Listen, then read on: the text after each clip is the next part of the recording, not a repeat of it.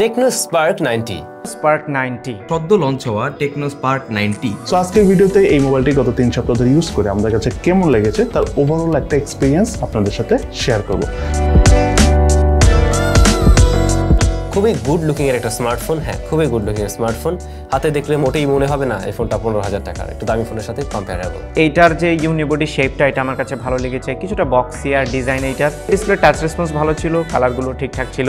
মানে day to day টাচকে ভালোই perform করছিল six point six ইঞ্চের seven twenty P IPS display যা আবার নাইনটি হার্টস রিফ্রেশেড সাপোর্টেড সুন্দর ডিসপ্লে উপরে নচ আছে নচের ভিতর থার্টি টু মেগাপিক্সেল ক্যামেরা পাশে আবার front flash memory fusion technology থাকছে এতে যা কিনা আপনার চার জিবি র্যামের সাথে আরও তিন জিবি ভার্চুয়াল র্যাম যুক্ত হয়ে কিছুটা পারফরমেন্স বুস্ট করার চেষ্টা করবে। এই মুহূর্তে মার্কেটে আই থিঙ্ক এইরকম কনফিগারেশনের কোনো ফোন নাই but overall selfie camera performance অনেক ভালো চান যারা তাদের জন্য এই ফোনটা আসলে একটা আদর্শ ফোন ফ্রন্ট ফেসিং ক্যামেরার জন্য আমি বলব পনেরো হাজার টাকায় রাইট নাও মার্কেটে যে সমস্ত ফোন এক্সিস্ট করে নতুন ফোন তাদের সাথে কম্পেয়ার করতে গেলে এটা এগিয়ে থাকবে। সো আপনার যদি মেইন প্রায়োরিটি ক্যামেরার ক্ষেত্রে ফ্রন্ট ফেসিংটাই হয়ে থাকে দেন এটা আপনি চুজ করতে পারেন easily Android twelve based HiOS eight point six অনেক বেশি লাইট ওয়েট হয়ে গিয়েছে।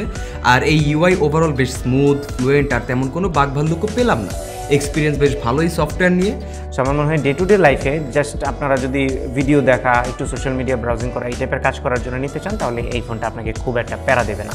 সেই সাথে এটাতে আপনারা ভিডিও এডিটর পেয়ে যাবেন ভিডিও থেকে এমপিজি কনভার্টার পেয়ে যাবেন এই টাইপের অনেকগুলো নতুন নতুন ফিচার ইউআইতে অ্যাড করা হয়েছে যেগুলো একটা ভালো জিনিস। এদিকে বডিতে রয়েছে সাইড মাউন্টেড ফিঙ্গারপ্রিন্ট সেন্সর যার অ্যাকুরেসি ঠিকঠাক ফাস্ট আছে। এরপর দেখলাম এর ব্যাটারি ব্যাকআপ বেশ ভালোই ছিল। ফাইভ থাউজেন্ড এমএচ এর ব্যাটারিতে সাত ঘণ্টার মতো এসওডি সহজেই পাওয়া যাচ্ছে রেগুলার ইউসেজে এটাতে যে পাঁচ হাজার এমএএচ এর সেল আছে সেটা আপনাকে ইজিলি দেড় দিনের মতো ব্যাটারি ব্যাকআপ দেবে যদি আপনি নাইনটি হার্জ এনাবল করে ইউজ করেন।